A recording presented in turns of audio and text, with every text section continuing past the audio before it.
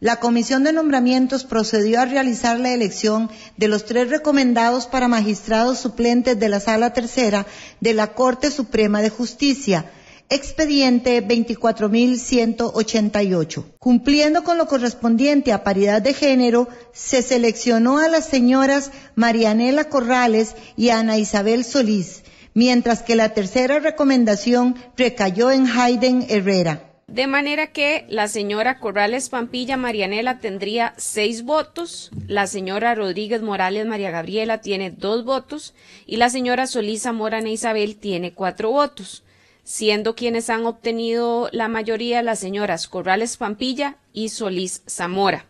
No hay necesidad de segunda ronda.